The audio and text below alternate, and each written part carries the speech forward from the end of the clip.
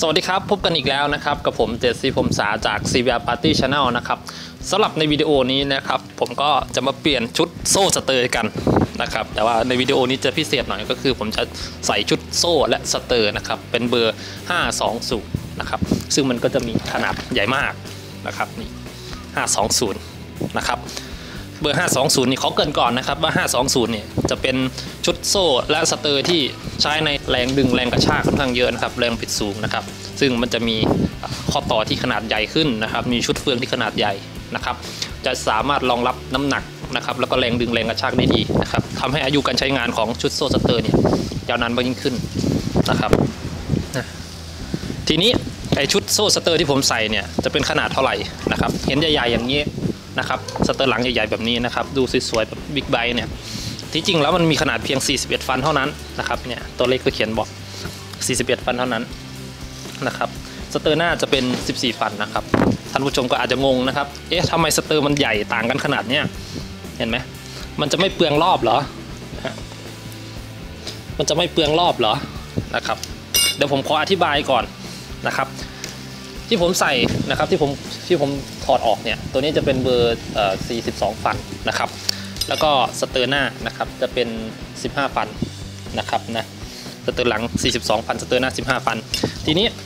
อัตราทดนะครับ อัตราทดกำลังนะครับ อัตราทดคืออะไร อัตราทดก็คืออย่างอย่างตัวนี้นะครับชุดที่ผมใส่ก่อนหน้านี้นะครับสเตอร์หน้า 15 นะครับสเตอร์หลัง 42 ฟันนะครับ มันคืออะไรล่ะ 15 42ฟันมันแรงไม่แรงอ่าหลายคนอาจจะงงอย่างนั้นนะครับ ก็คือเอามาทำเป็นอัตราทดก็คือโดยการเอาสเตอร์หลังนะครับ 42 ฟันหารกับสเตอร์หน้านะครับ สเตอร์หน้า 15 ฟัน ก็จะได้ เอาตาย เดี๋ยวเอาใหม่ 42 หาร 15 เท่ากับ 2.8 นะครับ นี่ 2.8 นี่ก็คืออัตราทดนะครับ 2.8เนี่ยมันหมายความว่าอะไร นะหลายคนก็อาจจะงงเนาะ2.8 หมายความว่าสเตอร์หลังเนี่ยล้อหลังเนี่ยเอาแบบง่ายๆเลยนะครับง่ายๆภาษาชาวบ้านเนี่ยล้อหลังเนี่ยหมุนหนึ่งรอบนะครับ แกนสเตอร์หน้าเนี่ยหมุน 2.8 รอบนะครับเข้าใจกันหรือยังครับ ข้างหลังเนี่ยหมุนหนึ่งรอบข้างหน้าเนี่ยสเตอร์หน้าเนี่ยหมุน 2.8 รอบนะครับนะ อันแล้วอันโตๆนี่แหละอันที่โตที่ผมกำลังจะใส่อยู่ อย่างที่ผมบอกไปนะครับ ก็คือสเตอร์หน้า 14 ฟัน สเตอร์หลัง 41 ฟันนะครับ เราก็มาหาอัตราทดโดยการเอาสเตอร์หลังนะครับ 41 ฟัน หารกับสเตอร์หน้าก็คือ 14 ฟัน จะเท่ากับ 2.9เอ่ออะไรนะ 2.92 นะครับ 2.92 หมายความว่าล้อหลังนี่หมุน 1 รอบนะครับ แกนสเตอร์หน้าเนี่ยหมุน 2.9 รอบนะครับ 2.9 รอบเท่านั้นนะครับ นี่คือคือความหมายของอัตราทดนะครับที่เราหากันนะครับ และในบางอัตราทดนะครับอัตราทดเนี่ยมันจะมีอ่ามันจะมีอัตราทดที่เท่ากันนะครับ โดยที่จำนวนฟันเนี่ยมันไม่เท่ากันนะงงใช่ไหม no เพราะว่ามันเป็นเรื่องของอัตราทดไงครับนะยกตัวอย่างเช่นสเตอร์หน้า 14 ฟัน สเตอร์หลัง 42 ฟันนะครับ14 3 เป็น 42 ครับ อัตราทดก็คือ 3.00 นั่นหมายความว่าล้อหลังเนี่ยหมุน 1 รอบนะครับ แกนสเตอร์หน้าเนี่ยจะหมุน 3 รอบนะครับนะ ในทางกลับกันนะครับ ถ้าเกิดเราเปลี่ยนใส่สเตอร์หน้า 15 ฟัน สเตอร์หลัง 45 ฟัน 15 คูณ 3 เท่ากับ 45 ซึ่งมันก็คืออัตราทด 3.00 เท่ากันนะครับ นั่นหมายความว่าล้อหลังเนี่ยก็หมุน 1 รอบเท่ากันนะครับล้อหน้าเอ่อเอ่อแกนสเตอร์หน้าเนี่ยก็จะหมุน 3 รอบนะครับนี่ก็คือในเรื่องของอัตราทดนะครับนะที่ที่หลายๆ คนยังสับสนกันนะครับนะทีนี้ถ้าเราเกิดซ้อน 2 หรือว่าเราใช้งานในการเอ่อเราเราเนี่ยมีน้ำหนักเยอะนะครับไอตัวเลขเนี่ยมันก็ควรจะเยอะขึ้นนิดนึงนะครับเยอะขึ้นนิดนึงนะครับเพื่อเพื่ออะไรเพื่อลดเนี่ย เครื่องยนต์เนี่ยเดิมๆเนี่ยมันจะได้มีแรงในการดึงรถที่มันมีน้ำหนักมากขึ้นกว่าปกตินะครับนะมากขึ้นกว่าปกติ อย่างของเดิมที่เขาให้มาเนี่ยสเตอร์หน้าจะเป็น 15 ฟันของ CBR นะครับสเตอร์หลังจะเป็น 43 ฟันนะครับหลายคนก็บอกว่าท้ายมันห้อยครับท้ายมันห้อยนะครับท้ายมันห้อยก็เพิ่มมาเป็นอีกหนึ่งฟันนะครับเป็น 4 4 ฟันนะครับนะก็จะช่วยได้ในระดับหนึ่งนะครับ แต่ถ้าท่านผู้ชมซ้อน2นะครับหรือว่ามีน้ำหนักที่เยอะนะครับร้อยถึงร้อยี่สิบกิโลเนี่ยครับก็อาจจะต้องเพิ่มถึง2ปันนะครับเพื่อให้เครื่องยนต์เนี่ยมันได้มีมีแรงนะครับในการดึงนะครับในการดึงอย่างที่ผมว่านะครับถ้าเพิ่มอีก 2 ปันก็จะเป็น 45 45เนี่ยก็15คูณ3เป็น 45 ก็คือจะได้ 3 3.00นะครับอัตราโทษ3.00 ก็คือล้อหลังเนี่ยหมุน1รอบ แกนสเตอร์หน้าเนี่ยต้องหมุนถึง 3 รอบนะครับ เพราะว่ามันต้องใช้พลังกำลังนะครับ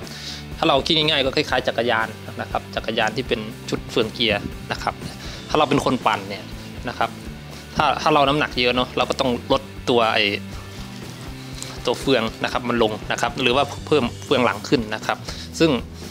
เวลาเราปั่นเราก็จะรู้เองอะครับนะว่าเราจะต้องใช้อัตราทษประมาณไหน ก็ในรถมอเตอร์ไซค์ก็เช่นกันนะครับนะอย่างหลายคนชอบชอบถามผมถามมาเยอะนะครับ ว่าแบบไหนดีแบบไหนดี ก็คือทุกอย่างดีหมดนะครับนะแต่ว่ามันขึ้นอยู่กับไลฟ์สไตล์นะครับการขับขี่นะครับ แล้วก็ลักษณะของการใช้งานของแต่ละคนนะครับนะบางคนเนี่ยน้ำหนักเยอะก็จริงนะครับ แต่ก็ชอบแต่ว่าชอบในการขี่แบบเรื่อยๆนะครับ ขี่แบบไม่กระโชกห้องหากมากนะครับ เน้นในการขี่เอ่อเดินทางแบบสบายๆ นะครับสเตอร์หน้า 15 สเตอร์หลัง 42 ฟันที่ผมใส่อยู่เนี่ยอาจจะเหมาะกับคุณก็ได้นะครับถึงคุณจะหนักถึง 120 แต่อาจจะเหมาะกับคุณก็ได้ แต่ถ้าในทางกลับกันนะครับ ถ้าคนที่ชอบขาซิ่ง ชอบยกล้อชอบอะไรประมาณนี้นะครับ ต้องตามเพื่อนให้ทันนะครับ ต้องแซงเพื่อนให้ได้นะครับสเตอร์หลัง 42 ฟันเนี่ยก็คงไม่เหมาะแน่นอนนะครับ ถึงคนถึงคุณจะมีน้ำหนักเพียง 52 กิโลกรัมอะไรประมาณนี้ก็คงไม่เหมาะ นะครับนะก็เพราะฉะนั้นถามว่าแบบไหนดีนะครับมันก็ตอบยากนะครับ เพราะว่ามันขึ้นอยู่กับการใช้งานของแต่ละบุคคลและก็ไลฟ์สไตล์ที่ผมว่าให้ฟังนั่นแหละครับนะทีนี้พอใส่เข้ามามีปัญหาอะไรไหมนะครับ ไม่มีนะครับ แต่ว่าผมว่ามันดูสวยขึ้นนะครับ ก็สามารถใส่ใส่ได้เลยครับ ใส่ได้เลยนะครับ สเตอร์หลังเป็นของแฟนทอม 200 นะครับเป็นทอม 200 cc TA 200 นะครับ สเตอร์หน้าจะเป็นของ SR นะครับ แต่ถ้าท่านผู้ชมหาไม่ได้ก็สามารถติดต่อผมมาได้นะครับ ผมเดี๋ยวผมส่งให้ท่านผู้ชมได้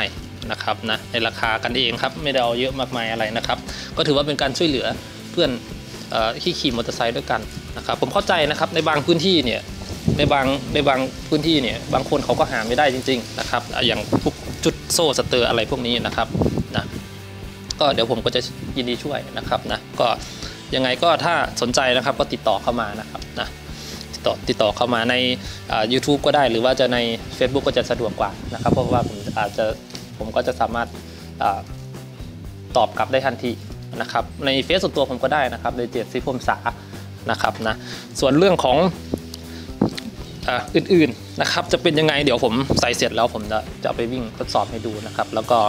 จะเอามาพูดให้ฟังอีกทีหนึ่งแล้วกันว่า จะมีข้อเสียข้อดีข้อด้อยแล้วก็อื่นๆยังไงบ้างนะครับนะสำหรับในวิดีโอนี้ก็ขอบคุณมากที่ติดตามรับชมรับฟังนะครับ ก็หวังว่าจะมีประโยชน์นะครับ ไม่มากก็น้อยนะครับ ในเรื่องของการใส่ชุด โซ่สเตอร์นะครับและอัตราทดนะครับหวังว่าท่านผู้ชมจะเอาไปประยุกต์นะครับแล้วก็เอาไปใช้ในชีวิตประจำวันของท่านผู้ชมได้นะครับ ก็สุดท้ายนี้ก็ขอบคุณมากที่ติดตามรับชมรับฟังกันมาโดยตลอดยังไงก็ช่วงนี้อากาศเปลี่ยนแปลงบ่อยนะครับ ก็ดูแลสุขภาพกันด้วยละกันครับ ขอบคุณมากครับ สวัสดีครับ